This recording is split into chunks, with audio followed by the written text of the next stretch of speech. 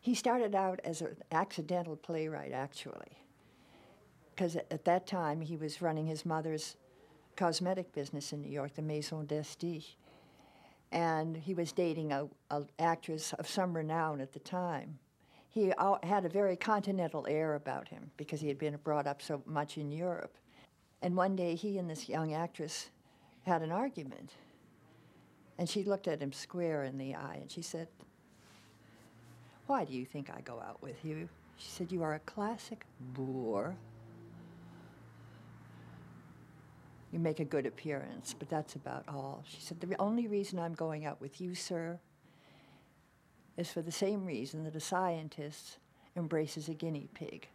I just like to try my situations out on you to see how they'll turn out. She said, In fact, I'm writing a play. He was horrified and angered, and he said, You are writing a play? He said, Madam, if you can write a play, I can write a play. And what's more, my play will be better and it will run longer. And that's and then he sat down and wrote the third act of his first play, The Guinea Pig. And it came so easily, he thought, nothing to this racket. And then he had to, of course, get the first and second acts. very, very, very difficult. but that's how he became a playwright just to begin with. It was absolutely accidental. I think his thoughts on Hollywood changed over the years, of course. But when he first came, he came to do some writing for Universal on a film called The Invisible Man and kept his apartment in New York and thought of himself and rented a home and a couple of different homes actually. And he still felt as though he were a New Yorker for at least five years. He kept that apartment going, although he never ever left and went there. He kept the apartment going for five years. And then he bought a home here, which of course makes a difference. It gives you a few roots. But the thing he most admired about, about Hollywood was that the only thing that mattered wasn't your education, wasn't your family background, it wasn't who you knew, it was talent. And he thought that was a pretty remarkable thing anywhere.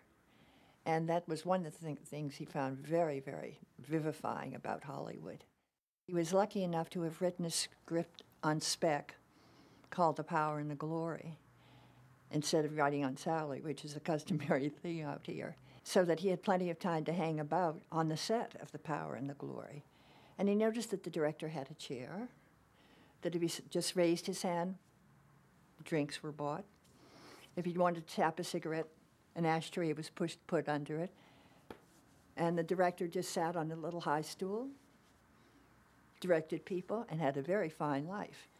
And Preston decided at that moment this was the king. And he said he wished to be a prince of Hollywood also. And he went back and he wrote The Great McGinty. His intention was that he would write a good film and then allow it to be sold to a person would then allow him to direct. Well, he peddled around Hollywood for seven years with his script. And everybody said, Oh, it's a wonderful script, Preston, but who's interested in politics? And other people read, Oh, wonderful script, Preston. He said, But women aren't interested in politics. So it took him seven years to sell the script and get his deal, which was to also direct it. So Paramount went for the deal. And Preston said, Look, I'll sell you the script for a dollar if you let me direct it.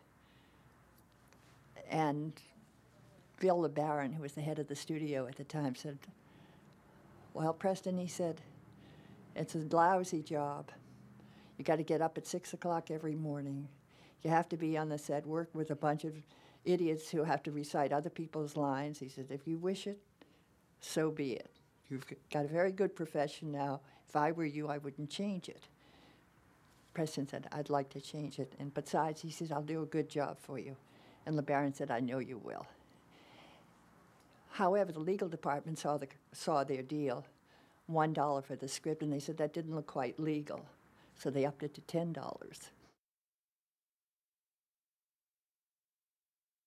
For directing, because he had already in his, in his mind directed the picture while he was writing it, And when he was writing, for instance, he would, he would live that part. Because he, he, did, he did write a few things when we were together. And he would walk around and dictate the lines, and to which you were supposed to pay strict attention. Because I thought he you know, wanted me to help, you know, just get the lines down. So when he would be walking around thinking, I had a book here. And I would look down, I would be reading, and when he looked and said, Well, what have you got there? And I said, I'm, A book. Not allowed. You pay attention. so I put the book and paid attention. But then, as he started to, direct, to write this, uh, a scene, he would become each of the parts. So much so that were it a, a, a sad scene or some contemplative scene, tears would come to his eyes. And he would say it exactly the way you would hear it on the screen later. Betty Hutton once described it that he said the line, and you had to say it precisely as he told you to say it. And it turns out that Charlie Chaplin worked the same way. Claire Bloom gave an interview, and she said it was very, very easy as long as you did it precisely and exactly to every little turn of the head, to every modulation of the voice, and as, which is what Preston did. And one of the reviewers in Time magazine, and I've forgotten for what film, said Prest that Preston must be one of the great actors of the world because the people in his films were superb, whereas in other films they were merely mediocre. What he felt about his stock company was that these were people who were in his early films, which brought him success, and he felt he had a moral obligation to keep those people there and let them enjoy the ride too, were there to be a ride. But he felt that it, was almost like a duty, and, and not that they weren't good, they were wonderful. But I do remember his much admiring Barbara Stanwyck because he said that she had what many women don't have and that she would be beautiful all of her life because she had an inner beauty and that no matter her age, that beauty would still be there. And also that she was an instinctive actress and took almost no direction. She needed none. So when not needed, of course, he didn't offer it. But that she had this, as I said, an instinct, and she knew just how a line should be read. And he much enjoyed working with her, and she was apparently great, great fun he thought that Joel McCrea was a very fine actor. Now, Joel McCrea was directed, so that when you see him say the lines the way he says them, it's because that's how he was directed. And Joel McCrea was very facile with it, didn't mind it being directed, in fact, preferred it that way. He never had an attitude that Sullivan did, you know, that comedy wasn't worth doing. But the reason he wrote Sullivan's Travels was because many of his friends who were comedy directors like Leo McCarey were beginning to make pictures with a message. And his effort was to try to indirectly tell his fellow directors that preaching was for preachers and the film was about fun. And that was the instigance for uh, Sullivan's Travels. Trying to crash the movies or something? Something like that. I guess that's pretty hard to do, huh? I guess so. I never got close enough to find out. Oh, sorry. Say, who's being sorry for who? Am I buying you the eggs or are you buying me the eggs? Oh, just like to repay you for them. All right. Give me a letter of introduction to Lubitsch. I might be able to do that, too. Who's Lubitsch? Drink your coffee. Preston and Lubitsch, for instance, were very, very good friends. And his very first picture, The Great McGinty, he wanted to have a screen that said, dedicated to my friend, Ernst Lubitsch. And This, what is this nonsense about dedicating pictures? Forget it. So it never happened. But he loved his pictures, and of course, as you know, they were brilliant. But Lubitsch, of course, was not a writer, but he was a director who told, knew how to tell a story. And that's, of course, what the director does. He's the storyteller.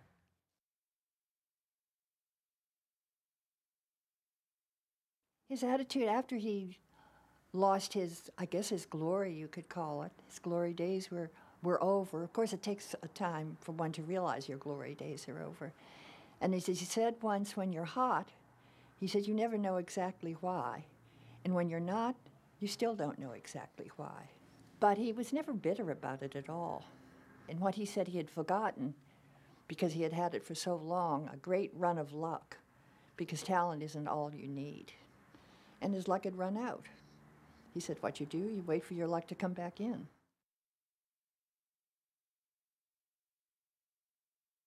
He had a restaurant called The Players at the time, uh, right on Sunset Boulevard. And Howard Hughes was quite often there, of course, with one pretty girl or another. And under the law, the restaurant and the bars had to close at 2 o'clock. So what Howard would do would be hire himself the band to stay and quite often keep the restaurant open God knows how long. And Preston, being a night person, it was fine with him. They got along very well. And he and Howard decided to, you know, form a picture company. Howard would provide the money, Preston would provide the talent. Preston would cut his salary down to almost nothing because he would also have an interest in the company. And the deal was that when either one of them should ever become dissatisfied, the contract was off. All it took was, was a phone call. And all it took to form the company was a handshake. However, it took the lawyers like a year to put all the stuff together. And Preston set to work making a picture, uh, The Sin of Harold Diddlebock, and another picture called Vendetta, which he had written, and he was writing, producing, directing, and running a studio. Howard Hughes apparently just wrote the checks because they went to the Hughes Tool Company and just they just wrote the checks for whatever th things came up. And then one day, about five in the morning, Preston got a phone call, and Vendetta was then underway. I think there were 150 extras on the set. And Howard called up and said, Preston, I want to call it off. Preston said, okay, Howard. And that was the end of that. Now, Preston never knew exactly because Howard never talked to him again. Not that he talked to him often during the filming. And, but during Vendetta, they were using horses, were, I mean, part of the scenes. And so Preston said to the wrangler, I'd like to ride the horse during lunch. How much would that cost? He said, How much would that? Mr. Sturges, for you?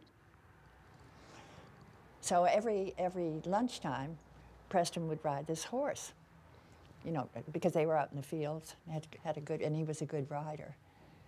And never thought another thing about it. Because after all, Mr. Sturges. Then years later, we were having dinner, and I cannot remember now with whom. And he had his own opinion on why the Hughes Sturges company had, had split apart. And Preston, of course, was interested in hearing it. He said, he said Preston, he, he thought you were just throwing away his money. Preston said, well, why would he think that? He said, it was the horses. Preston's horses? He said, your personal use of the horses. He said, but that didn't cost anything. He said, oh no. He said, that wrangler charged, and he charged heavy for every single time you got on that horse, which of course is what Preston never knew, but it was pretty revealing. And Howard was, of course, as a rich man, they're always very careful with where the the money go. And, he, and to Howard, that was proof that Preston was just throwing it away.